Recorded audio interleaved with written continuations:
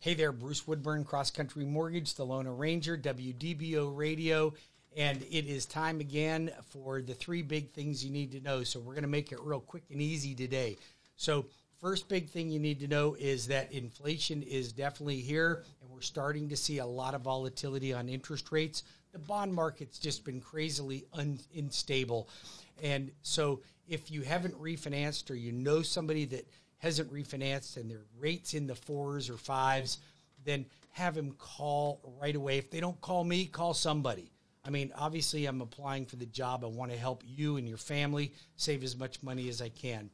Uh, and if they're paying PMI or they're, it's time to consolidate and pay off debts, convert to a, thir- a 15 year from a 30, now is the opportunity to do that.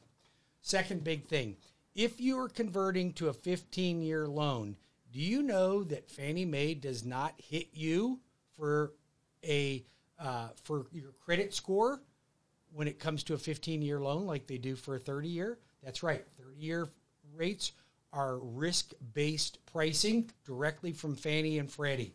15 year, you get the best possible deal. So if you can swing the higher payment, it's it's a it's a good idea to do that. Uh, all right, next thing we are obviously are seeing multiple offers on every home. Appraisals are being waived. Home inspections are being waived. People are paying more than appraised value. I'm personally not that concerned about it. It's frustrating. But what I'm seeing, and when I look at my clients that are paying over, within like three months, you've already made up the difference. Within six months, you're making profit.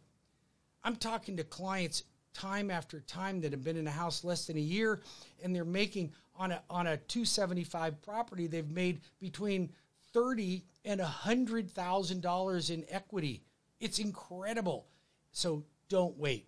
Third big thing you need to know and i've said this before i'm going to say it again appraisals are taking a long time. These guys are overbooked. There's not enough appraisers to go around.